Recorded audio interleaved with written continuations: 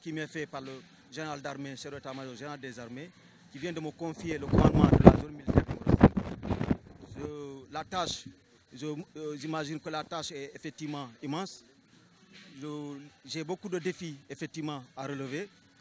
mais je, suis, je, je, suis prêt à remplir la mission avec beaucoup d'humilité, mais surtout avec une bonne dose de détermination. En assumant pleinement mes attributions de commandant de zone, zone militaire numéro 5, euh, donc correspondant aux limites administratives de la région de Ziguinchor. Et euh, je ne veux pas seulement me limiter à ce niveau, euh, je dirais également par extension que j'aurai également, dans, dans mes prérogatives, j'aurai également la mission d'assurer la sécurité des personnes et des biens dans la région de Ziguinchor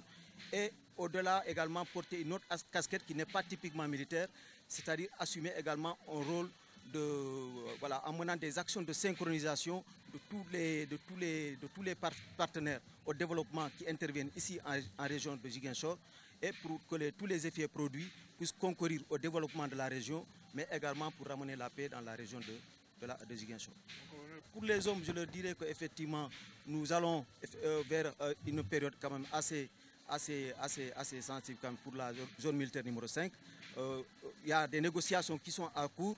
et que sur le terrain, nous avons encore des actions à, à mener. Des actions effectivement pour visant à sécuriser les populations et leurs biens, mais également des actions qui euh, vont concourir à amener les partenaires au développement à mener effectivement leur, travail dans, sur le terrain sans être inquiets.